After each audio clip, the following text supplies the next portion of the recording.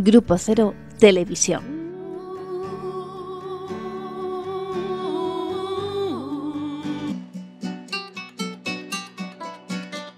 No estamos exactamente en ningún sitio. Somos esos arcángeles negros que solo aparecen para enfrentarse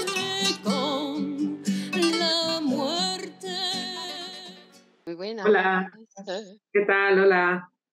Bienvenidas, bienvenidas y bienvenidos a este nuevo episodio de Poesía más Poesía, nuestra mejor 193. serie. 193. 193. Muy Vamos bien. a tener que cambiar de temporada porque ya son muchos números.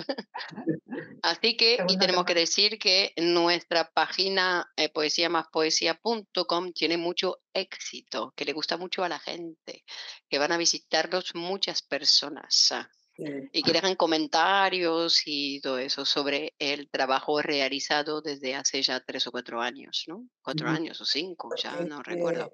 También me pareció bien que se publique cada tanto los números de las revistas que está a cargo Laura, es la que lo hace. Sí, Y yo lo comparto también y eso es una actualización. Claro, claro. Claro, Y para que- comparte mucha gente, lo comparte. Sí, sí, sí, está fabuloso. Además, gente totalmente desconocida, no solamente los- la gente del grupo. Mm. claro, porque también hay que compartirlo en grupos para que la gente se nutra de eso. Bueno, muy bien. Bueno, hoy me toca a mí presentar al poeta y he escogido a Mahfoud Massis. Decir que, que también lo he descubierto a través de otras revistas de poesía, que estamos manteniendo también enlaces y contactos que, que, bueno, también aportan grandes poetas que, que este es bastante desconocido. Incluso le dicen el poeta olvidado, ¿no? Y para contaros un poco cuál es su origen, su nombre real es Antonio Macías y nació en Iquique, Chile, en 1916 y bueno, murió en Caracas, en Venezuela, en 1990. Él era hijo de padre palestino y madre libanesa. Y bueno, para protegerlo de la xenofobia que era predominante en el siglo XX, pues fue bautizado con nombres latinos para no exponerlo a, ese rechazo que había hacia los turcos, ¿no? Pero Massis, reconociendo su origen en su primer libro, Las bestias del duelo, en 1942, pues él asume la decisión de arabizar su nombre, entonces pasa de Antonio Macías a Mahfoud Massis. En la literatura de la época su visibilidad fue mal vista por, por los autores de, de raigambre nacionalista que casi le condenaron al olvido. En su poeta Las úlceras, en 1942, él dice, soy árabe oscuro y semental, aullando de presagios al macho cabrío.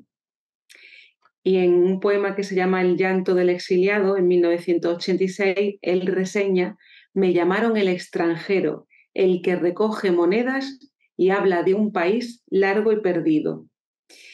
La identidad de, este poeta se plasma en el fragmento Soy Mahfoud Massid, el esclavo, que es del libro Elegía bajo la tierra en 1955, donde ahí ratifica pues, su esencia arábiga y está incluido en la selección de poemas que, que, bueno, que he realizado. Eh, su visión se occidentaliza en esa multidiscursividad cultural que, posee. En Iquique estudia en el English College y posteriormente ejerce como dactilógrafo y taquígrafo bilingüe en diversas ciudades. Él se casó con la pintora Luco de Roca, que es hija del poeta Pablo de Roca, y bueno, él, colaboró con la revista Multitud, que era dirigida por su suegro. Y desde muy joven se caracterizó por llevar eh, una fuerte ironía ¿no? Eh, frente a las apariencias, y él incluso diría esta frase, ¿no? La ironía es un arma poderosa. Con ella desinfla los globos de la fatuidad y su con conconitancia la frontera grave.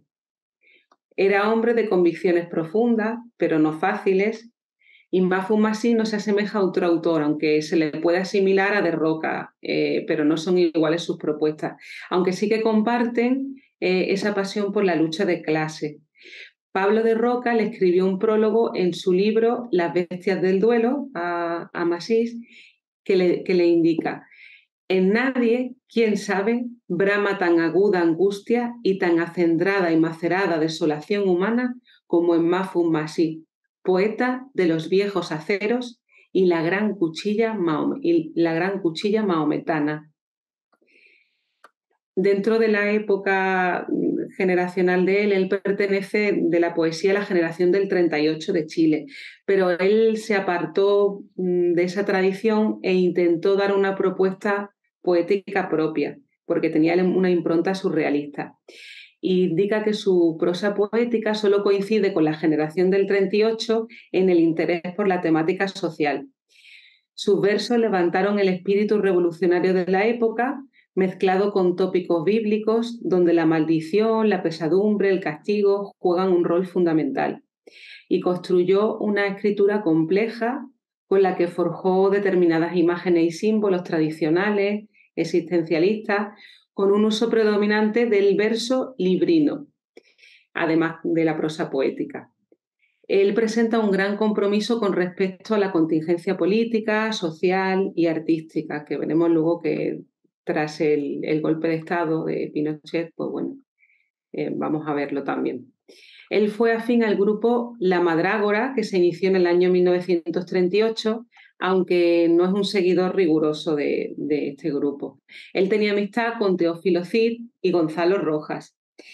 Eh, Gonzalo Rojas y Teófilo Cid, que eran del grupo La Madrágora. No, es La Mandrágora. Perdón, La Mandrágora. Vale. Eh, eh, allí se adhirió algunos postulados de la poesía negra que le permitirían definir pues, su perfil creativo. La obra de Massy se enmarca cerca de los decadentistas y los malditos, tales como Baudelaire, Rimbaud, eh, Petrus Borel, Lutremont, y aunque en cierta medida también es reconocible la influencia de, ese canal poético y, la grandilocuencia que le caracterizaron su obra por Pablo de Roca, eh, y eh, se, se, más bien a, a la poesía negra, ¿no? a la poesía maldita. Y Luco, su esposa y compañera de toda la vida, eh, que era artista plástica, ella participó en varios de sus libros, acompañando con sus ilustraciones los poemas de Masís. El poema Epitafio al conde Lutremont, en el que evoca al poeta francés eh, el enigma de la, de la biografía y las temáticas que caracterizan su obra, apareció por primera vez en Testamento sobre la piedra, que es un libro que publicó en 1971. Si queréis pasamos a la primera ronda donde también aparece este poema de Epitafio al conde de Lotremont y el, y el poema que os he reseñado antes que habla de, de él, ¿no? de sus orígenes. Epitafio al conde de Lotremont. Pasajero, Golpea esta cabeza, este pecho en que se secó el tabaco.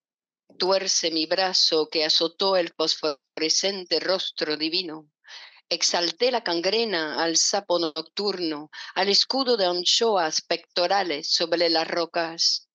Fui al conde tieso, oscuro, original como una momia evanescente y cándido. Busqué una boca vieja, un corazón de pescado, cierto paraguas negro en la noche. Todavía escucho el tranco quebrado del demonio. Isidora, Isidora, ¿por qué me habéis desamparado? Oh, como Jesucristo dice, Padre, ¿por qué me has abandonado? del libro Testamento sobre la Piedra de 1971. Yo soy, no, yo no, yo soy Norma Amenaza, voy a leer un poema de Mahfoud Massis.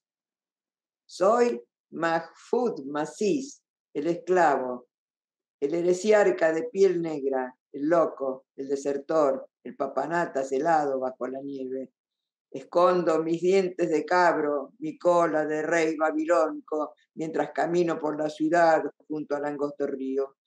Entre lívido aceite, mi vieja sombra atravilaria atraviesa las ciénagas, ladrando a la majestad lunar con su oscura casaca de muerto. Puedes tocar mi rostro, su lejana mariposa de hueso, mi semblante de ídolo prevalece, perdido, sin alternativa en los sacos de la noche. Vagué mil años con mi ojo miserable, comí bajo los muros, y cierta madrugada comencé a cantar con mi gruesa voz de asesino, a escribir estas coplas de antiguos herreros. Como un pequeño dios celeste y pálido, camino ahora por el mundo con mis ojos de perro, escarbando la tierra entre insectos y podridas anémonas, buscando una cabeza querida, un rostro perdido hace mucho tiempo.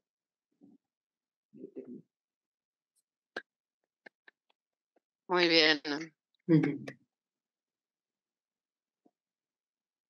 Ese es el poema, ¿no? Que os decía. Hablaba de él.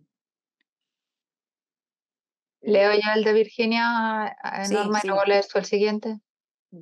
Elegía a Ernest Hemingway. Los que arrastramos un pescado o una vaca negra, como el viejo amargo del mar de las Antillas. Los que apacentamos una gran culebra por el llano, arrojamos tu ataúd como un sauce de pelos. Qué golondrina, qué sueño sobrevolaba tu corazón cuando mostrabas el pecho en armas como el Dios Padre de los mitos desaparecidos porque ciertamente en la niebla coloquial, en el designio raro, eres la almendra sobre el tizón negro cayendo en la eternidad riente, inmemorial, con la bala llorando en la piedra del ojo, puro de alcohol, profundo como el aroma del tabaco, augur estupefacto sobre la tierra, montaste a la vida como un perro mordiendo su oreja verde, sonriendo en la tormenta como un búfalo y rendido entre el vino y la mujer. Tu barba de macho perdurable, tu barba de poderoso velamen, era la barba, era la barca, fenicia y roja en el rescoldo de los días. Desde mi cojera invernal, yo, americano inerme, hijo de extraviadas religiones, pusilánime y fatal, estrecho tu brazo peludo de triunfador.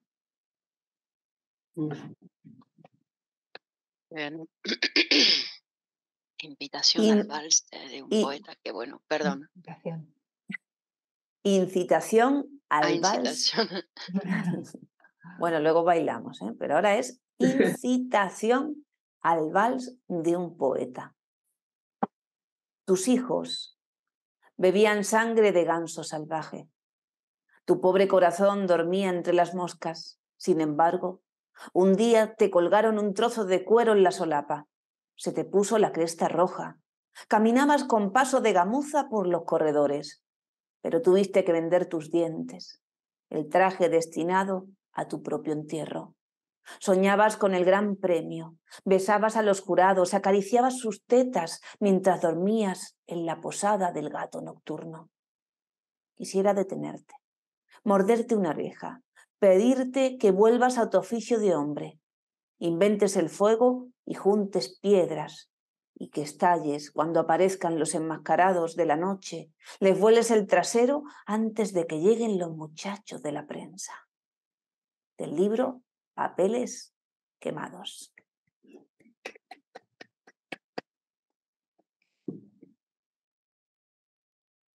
Eh, el brazo invisible.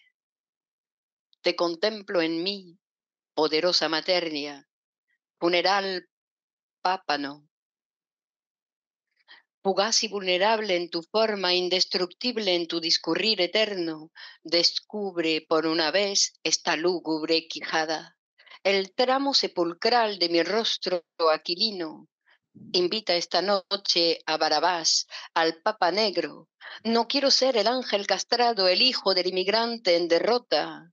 Recoge el velo de esta aventura, acompáñame por diosero, asesiné la alegría, cambié la luna por esta piedra que llevo sobre el pecho.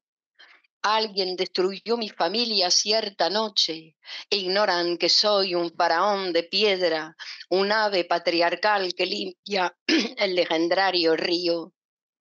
¿Quién me desgarró el hombre? ¿Quién me mordió la quijada? ¿Quién destrozó la cabeza de mi vástago?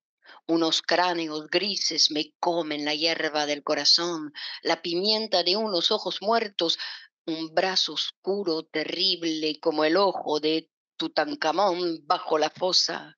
Señala el cuero miserable de mi cabellera, el piojo que preside mi sueño invernal, mientras acepto la limosna del asesino, del comerciante en carbón o piedras preciosas.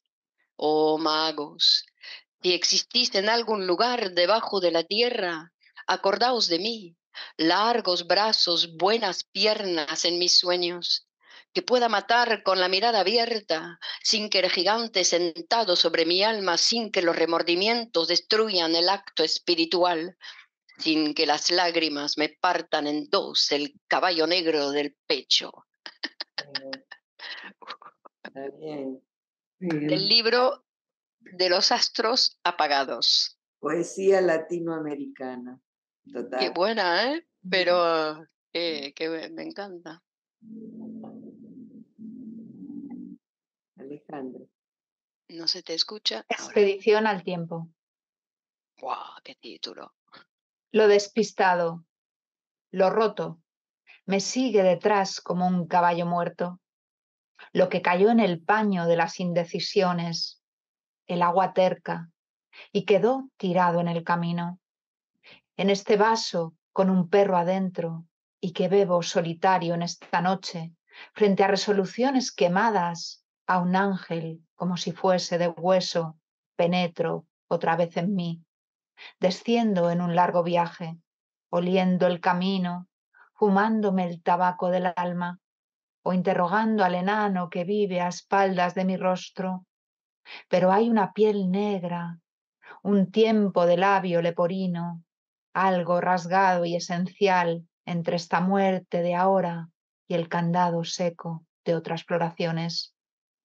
Partieron los días como golondrinas de arena, o la amante de tristes ojos, y cuando intenté rescatar, está como cuero tendido.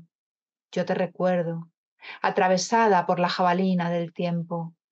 Qué largo andar, qué largo viaje para este día.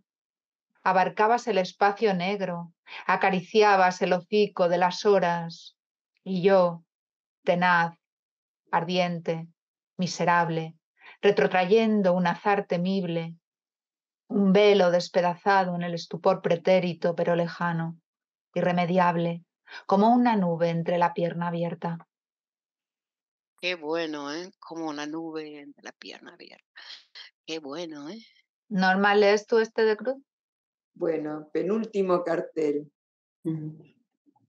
Soy el miserable que se ahogó en la poesía. Pude ser capitán, degollador de escualos, pero solo fui cabeza de perro en la necrópolis de la gran ciudad. Observo mi hígado derretido, mis poemas en las letrinas, en cuyo pórtico me espera una mula negra.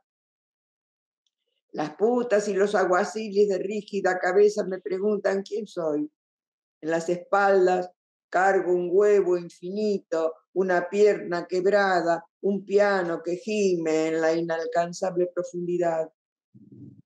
Lloro entonces por la tarea perdida, por la sangre coagulada lentamente, por este poema que escribo sin rencor, sin tener otra cosa que hacer, en circunstancias, como dicen los periodistas, que solo quisiera tenderme junto al mar, esperar que suba la marea y estirar los dedos como un tornillo sin fin.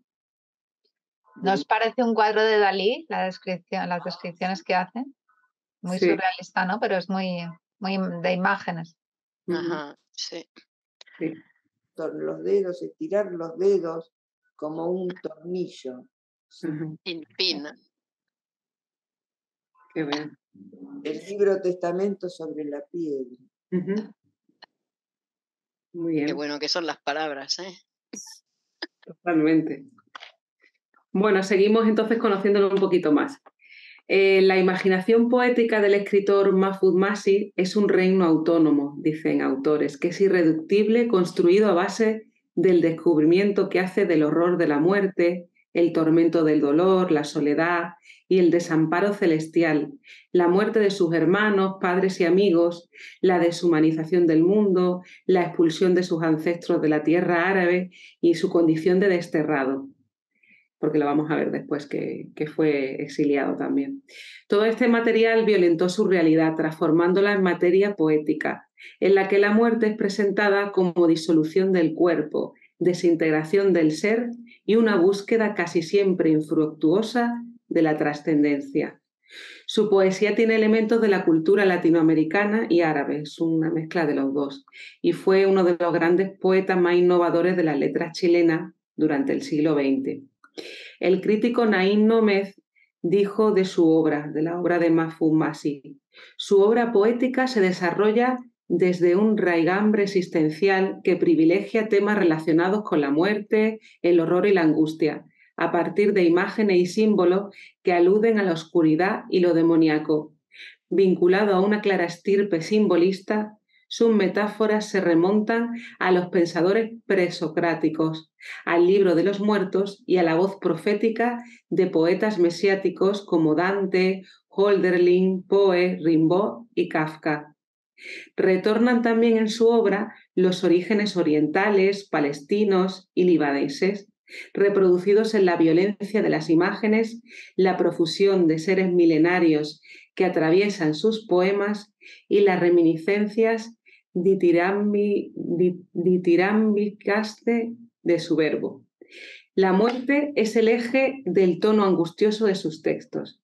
Esto es lo que señaló Nain Nómez y también dijo, un caso aparte lo constituye Mahfoud Massis, un poeta singular con vertiente estética propia, aunque también entronizado en un despliegue que alude tangencialmente a los vanguardistas, pero que perecliza en un lenguaje más directo, de cuño existencial y vital, que critica fuertemente una realidad urbana cada vez más alineante. Esto es lo que Eh, dijo él. Una cosa, Laura. Sí. Eh, antes has dicho ditirámbicamente. Y Sí. como no sabemos qué significaba esa palabra, pues relativo a ditirambo. Sí. Ditirambo es una composición poética que los autores de la antigua Grecia escribían en honor de Dionisos, el dios de los placeres sensuales en la mitología griega. Hay un libro de Nietzsche de poemas que se llama Ditirambos Dionisíacos. Ajá. Eh, Yo creo que se refiere más a esa parte, ¿no? De- a la Mm, respuesta. bueno, a Nietzsche, lo digo. lo digo. Sí, claro, sí, claro, que está después, ¿no? Sí, sí, sí, que es En esa posterior. cadena, por Mm. eso, que está en esa cadena. Vale, muy bien.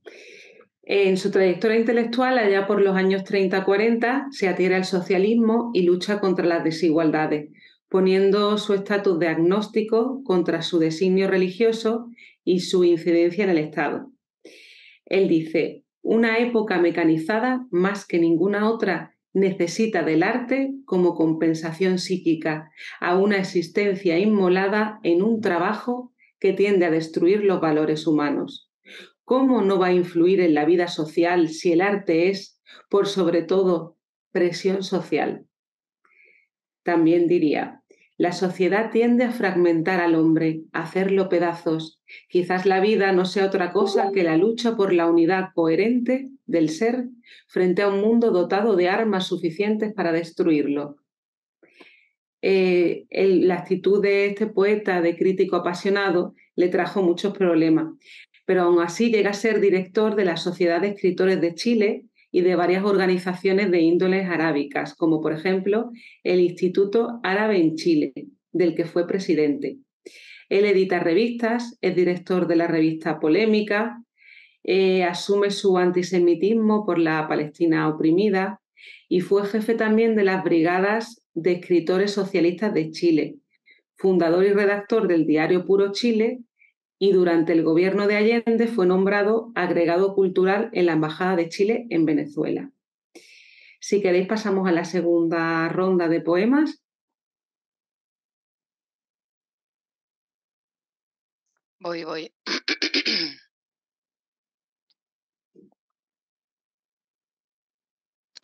Espera que me pasé, me pasé, me pasé, pasé. Puma. El rostro caído sobre la tecla. Impasible, como una reina de los ratones. Su diminuta cabeza que el sueño ha despojado se quiebra como un pez en la trama invisible, mostrando la nuca blanca sobre el algodón y sus dioses egipcios. De su ojo cuelga el barmellón de las sombras atadas y la fina guarida de su sexo es imperceptible temblor de algo fija y tenaz en la tormenta. Nadie la reconoce en sueño, nadie llora. Duerme sobre una quijada con el cuello esfumado y el negro toro del taller, el toro de las fuertes traslaciones, empuja hacia un cielo de vapor el rostro cándido. Los que estamos cubiertos de viruelas y mordemos la cruda oreja de Dios, homicidas serenos, besamos la dulce, navegante cabeza en los nocturnos mares Apenas una ola hincha su angosto pecho y en el aire encendido nace un toro nuevo en el ojo de los toreros.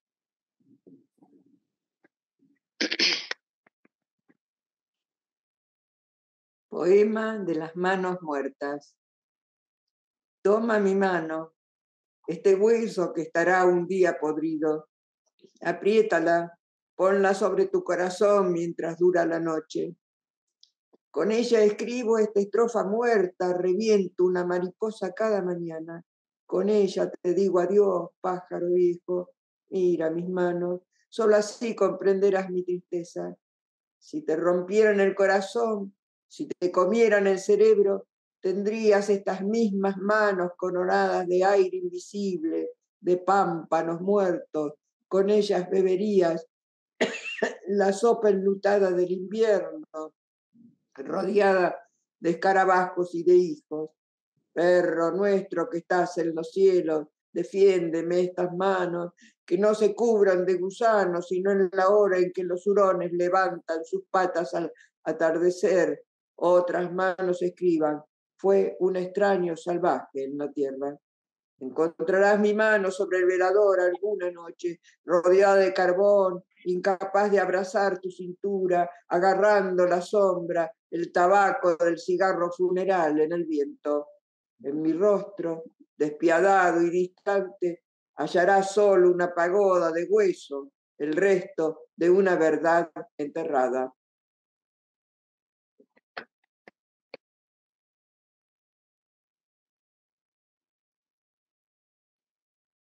Virginia, Alejandra. ¿Quieres leer tú? ¿Leo yo? Panorama del ídolo.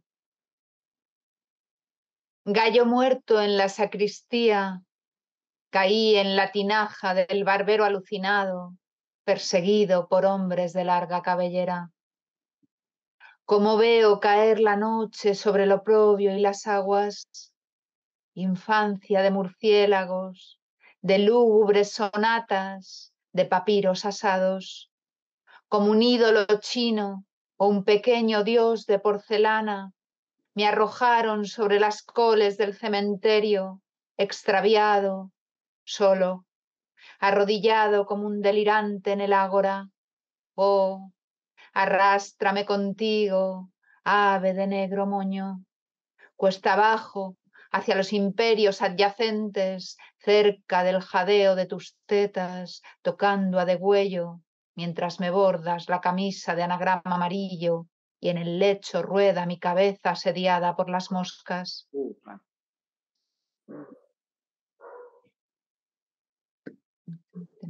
Y aquí no hay nombre, ¿no? Léelo, Clemens. Es que Léelo tú, Elena, ¿no? Que Léelo tú, porque después yo tengo otro también. Bueno, tú también. Sí, es mercado persa, ¿verdad? Sí, porque como eran breves, pues para que... Ah, era, ok. Mercado persa. Entre pordioseros vestidos de mariposas y piojos traídos del Himalaya, Contemplo el vuelo del vendedor de ensueños y huevos mágicos. Hay una parca rodeada de flores, un asesino, una piedra escarlata y yo, pobre, cubierto de manchas de resina, compro un pájaro en medio de la tormenta, un ave de pecho seco como el mío. Quiero escuchar su trémula voz de difunto, su quimera en mi habitación, su madrigal de hueso, sentir cómo se quema su plumaje mientras me agito en los escombros del sueño levantarme a gritos como si me hubieran desenterrado, los ojos puestos al revés, bajo la sepultura.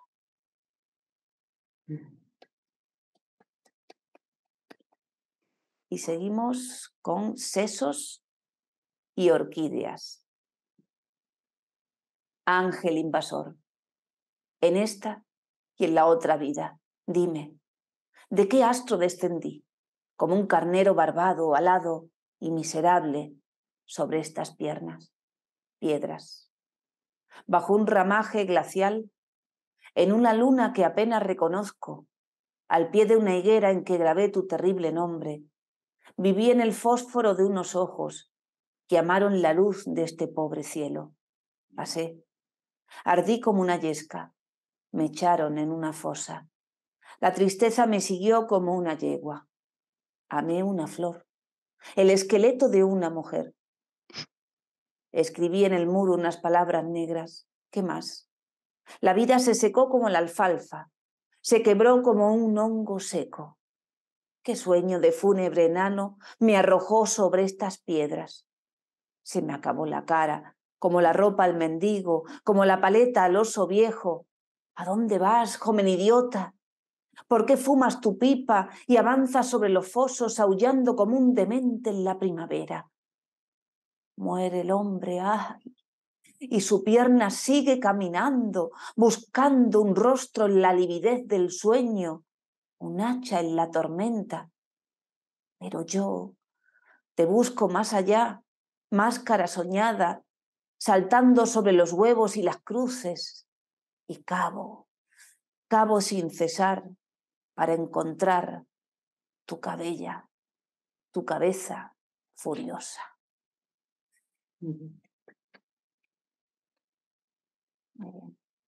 Otro traje. Por momentos parece este, no justamente Neruda, sino el otro. Guido Bro. Eh, no, no, es César Vallejo, ¿no? Ajá. Sí, es un- bastante surrealista. Y luego tiene algo de Ah. Lutremont en todo también, sí, ¿no? sí, la- sí, sí. Sí, se nota. Otro traje. Este traje de perro que llevo, traje de malhechor, muerto hace siglos en esta tierra, y en que, y en que los hu- huevos del tiempo dejan su, mad- su madre trompa. Quiere erguirse como soldado, ir a la sierra donde mataron al comandante. Pero, ¿qué piernas cansadas? Si llevo tres mil años metido en esta pirámide, podrido, glacial, y América, ¿qué América? Exigiendo, siempre exigiendo, machos terribles, y no un animal cansado como yo, angélico, lúbrico, ensimismado, haciendo versos huevones que nadie lee, que ni yo mismo leo, porque aprendí a escribir sin haber leído el libro del mundo. Madre, vuélveme, vuélveme a parir de nuevo, tírame al barro, quiero ser un soldado saliendo de una casa vacía, lejos de los poetas o de las putas con alas de mariposas. O por último, déjame en Bolivia, aunque me corten los dedos con lo que intento escribir esta canción de loco derrotado. Está muy bien, ¿eh? Bien.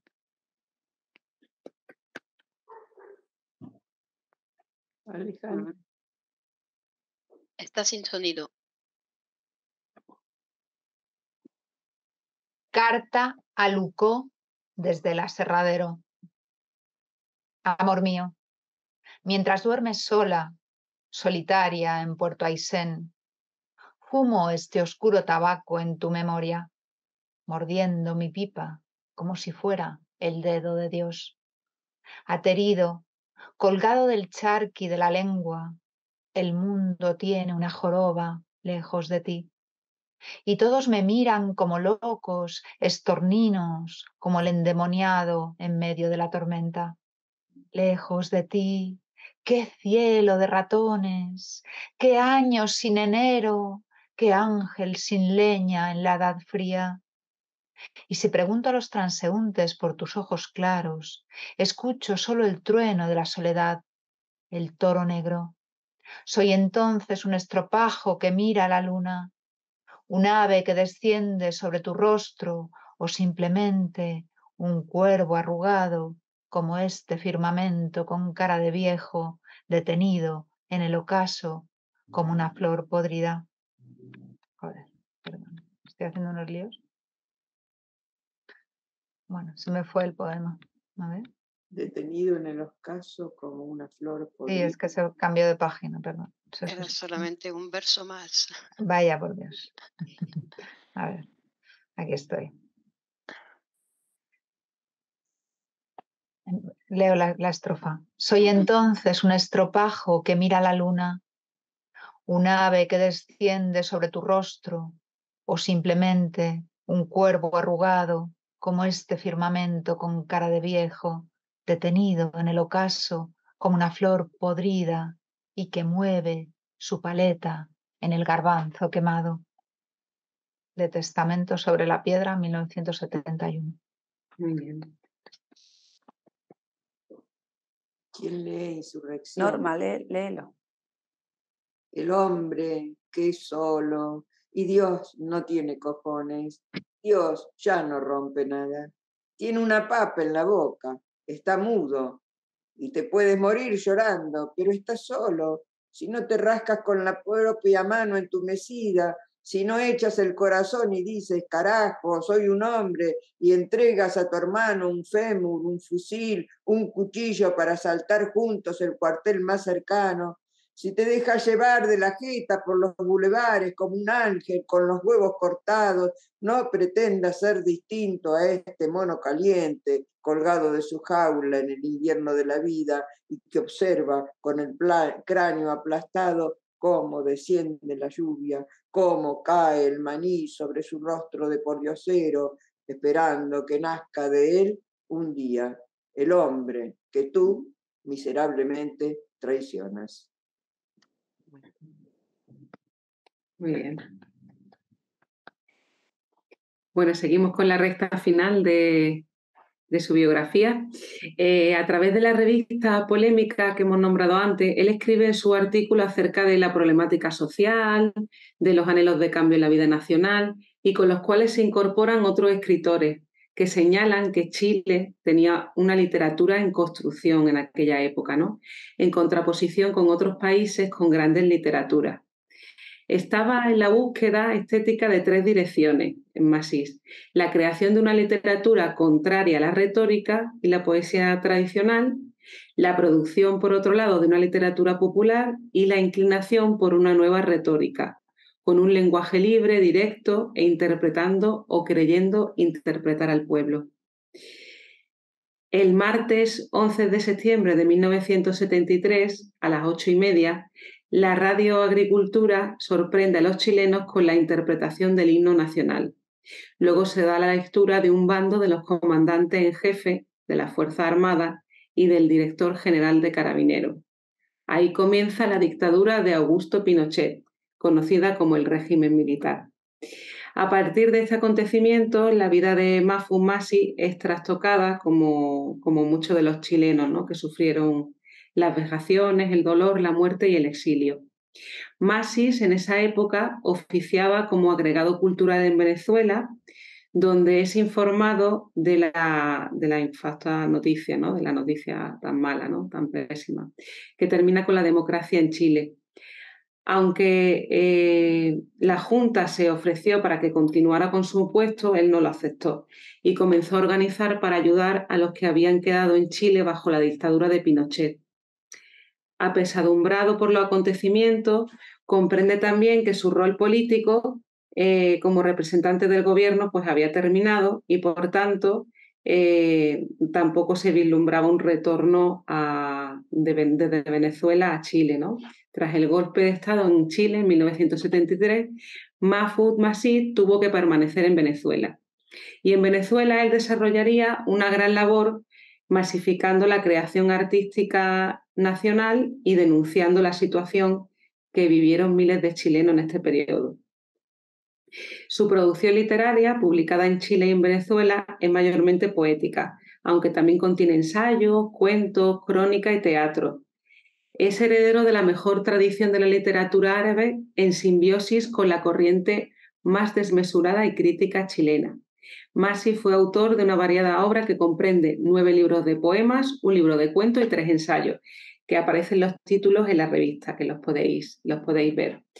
Eh, mm, una, doctora en literatura de la Universidad de Chile, María Olga Salomé Barrera, en su texto sobre Mafumasi nos dice, los años venezolanos fueron difíciles para él, aun cuando su talento le permitió publicar poesías y ensayos y transmitir crónicas por la Radio Nacional de Venezuela, además de ejercer el cargo de director de cultura de la Fundación de Estudios Latinoamericanos Orlando Letelier, también participó en certámenes literarios en Irak y en Canadá.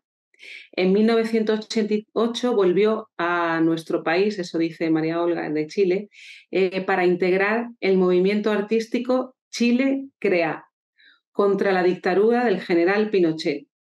Abrigaba la esperanza del regreso a Chile, pero su salud se deterioró y un ataque cerebral puso fin a su vida en abril de 1990. Se murió en víspera del retorno a Chile y también tuvo que lidiar con la muerte de su hijo Pablo. Y ahí, pues bueno, ya, ya en la revista también aparecerán más poemas y si os parece leer una tercera ronda para conocer eh, algunos poetas más de, otro periodo de, de Masi, pues estupendo. Epitafio a la memoria como un hacha plegada o un aire rendido a un viejo territorio, pasáis como ancianos roncos ante el caballero caído bajo las piedras, amarillo, sin dedos ya, como zapallo de ultratomba. La noche y su hembra ciega echaron estos huesos en el bulevar despojos que pesan en el corazón como gladiolos o los ojos del Padre muerto. Dejad que caiga esta pierna en el mar, el mar profundo. Oh alma, pingajo quemado, tigre sin rayas en la gran gema difusa, lingote seco en el furor pálido. Espera un descendimiento, una voz cayendo desde arriba, porque ciertamente el cuervo de las alucinaciones, el cuervo reo de tristezas, creará un día su propia fábula, su corazón por encima de la memoria y su pecho de oro, su viento rasgado, muerde el oído del tiempo apenas y de rodillas.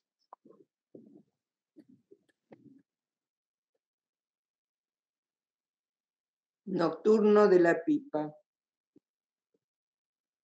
Bajo este astro, este astro podrido del otoño, como un dios seminal que llora por las mujeres, fumo mi pipa como un pope rojo con aire egipcio de gladiador golpeado en la nuca.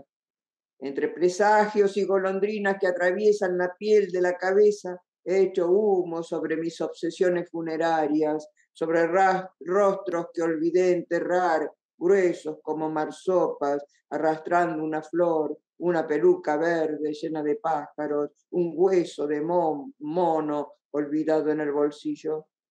Del fondo del cráneo me arrancan grandes huevos, ciertas imágenes, un féretro destruido por la lluvia, gusanos tenidos de azul por el fuego de unos ojos, un párpado seco con que miraba el mundo. Oigo el grito de un jinete muerto. Alguien arrastra, se arrastra sobre una muleta. ¿Quién es? Yo nada escucho. Solo fumo este pedazo de cerezo que me va agrietando la jeta, cubriéndome los dientes, la nariz, como un ídolo amarillo, y deja en mi boca un olor a caballo, a cuadrilla oscura. Alguien con los ojos huecos, me afeita la cabellera.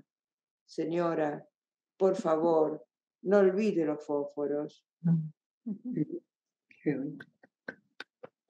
Sonatas del Gallo Negro, 1958.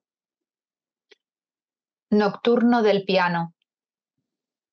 El piano, con su quijada negra, con sus dientes blancos cruzados de gusanos, canta como un papa melancólico. Sus notas caen como los huevos del esturión muerto sobre mi corazón en esta noche. Mata al demonio del piano, amiga mía. Ahoga en su vientre la furia escarlata. Rompe su levita de caballero velado, pero déjame solo, ahorcado en la cama. El virrey baila el tango mientras lloramos. Agita sus orejas como toneles, evocando a Francisca, a Leonor, a otras luces devoradoras, doblando un pliego de su carne, realizando hechizos sobre el fuego. Pero el piano, mi niña, resuena, imperial, desierto, triunfando siempre de la fatiga. En tanto el virrey ríe, quimérico y hostil, mostrando su halcón de oro. Mata al demonio del piano, amiga mía, Escucha cómo resbala sobre los gladiolos, rompiendo los sacos de la memoria, antiguas sombras, y vacila como hembra preñada, encendiéndome un candil, encendiendo un candil, una muerte nueva en el ciervo blanco del pecho. Un segundo vida, que, una segunda vida que desconozco y que rechazo como la horma negra a la nube.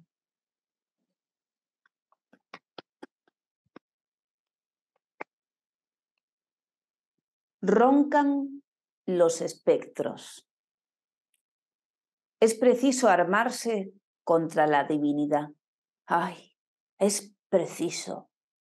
Los difuntos, con sus vejigas coloradas, se levantan en la medianoche y roncan. Serán vencidos por los piojos y dirán al dragón, tú eres el panteonero.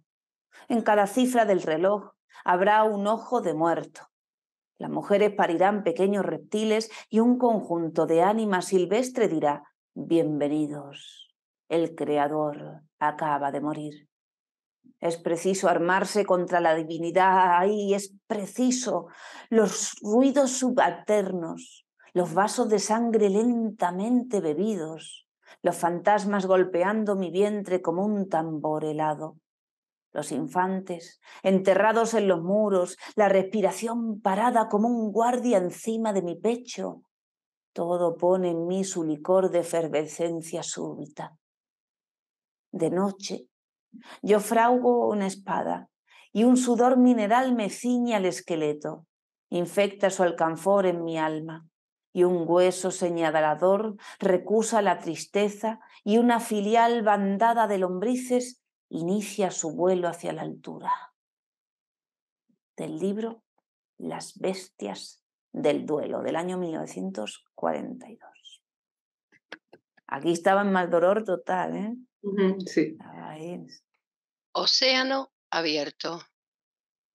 Abrir la tierra, sacarle, mirad el oro de sus dientes y ese aire guacho como de caballo de otro mundo las grandes aletas con que se agitaba el pensamiento invocando a los augures.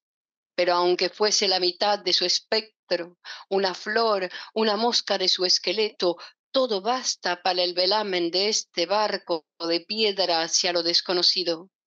Es posible llorar un madrigal, quemarse la cabellera, caer hacia el oriente como un ramo hechizado, pero ay, necesitamos de esa brisa enterrada como la ola y el viento para morir en la orilla. Habitante de este lugar, habitante de este lugar, ¿acaso te quedé un pulmón? Es lagar, ¿eh? Es lagar, existe la palabra. Ah, ajá. Habitante de este lagar, ¿acaso te quede un pulmón vivo y tu mano fluya como la lágrima sobre mi rostro en esta hora? Desciende, cava conmigo, arrastra estos huesos hacia afuera, después, después el mar, la oscura potestad, la tempestad es el océano abierto de los antepasados, eternos, sordos en el fondo del valle y junto al fuego que llora al amanecer, el paso de los ratones.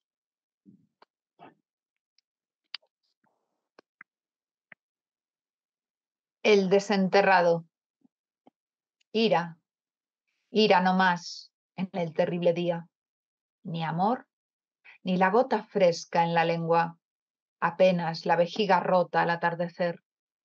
Y aquella gran mirada inmemorial, amarilla, todo cayendo detrás en el desván silencioso.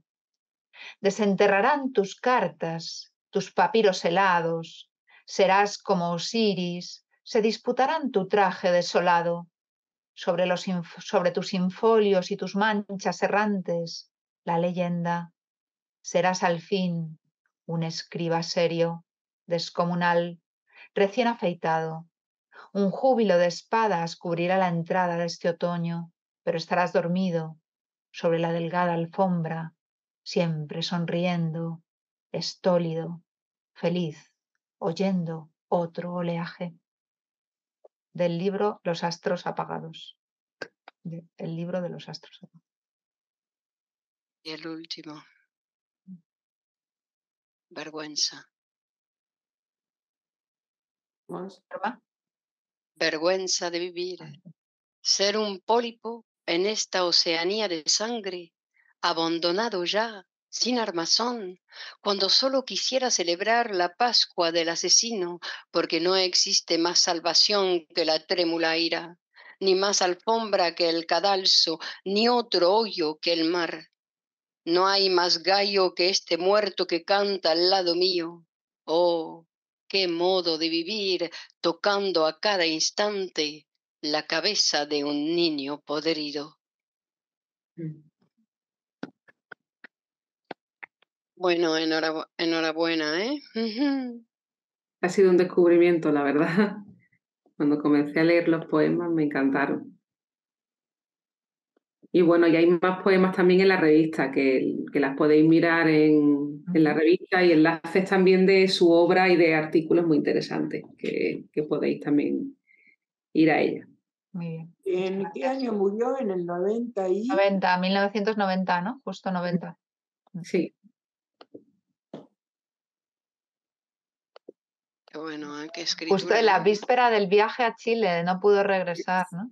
Claro, porque no se vuelve nunca al mismo lugar. Si no toleras eso.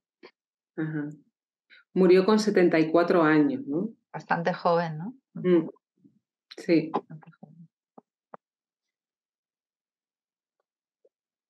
Bueno, pero ha dejado una buena producción. ¿eh? Mm. Digo, cuando escribes así y que publicas unos cuantos libros, eso no hay que podría seguir, pero. Hoy Clemons está con la maternidad. ¿Cómo? Clemons está con qué? Está con la maternidad. Debe tener algún retoño por ahí que nos quiere mostrar pronto. ¿Va a publicar? ¿Va a publicar un libro? ¿No? ¿Cuál es No sabía, se acabo de enterar. El retoño. Veremos, ya veremos. Muy bien. Muy bien, pero muy, muy agradable descubrimiento. La verdad que descubrir nuevos poetas es una alegría. wow. Porque además te parece que mañana puede haber otro nuevo, ¿no? sí, claro. Seguro. Seguro. Claro, además un poeta te lleva a otro, ¿no? Y te vas nombrando, vas conociendo, como las relaciones, ¿no? Muy bien. ¿Cómo qué relación? Como las relaciones, como la las gente relaciones sociales. Claro. Norma. Bueno. Muy bien. Muchas gracias. Seguimos la semana próxima. Muchas gracias. Hasta, hasta la próxima. Feliz Chao. poesía. hasta la próxima. Chao. Gracias. No estamos exactamente en ningún sitio. Somos esos arcángeles negros.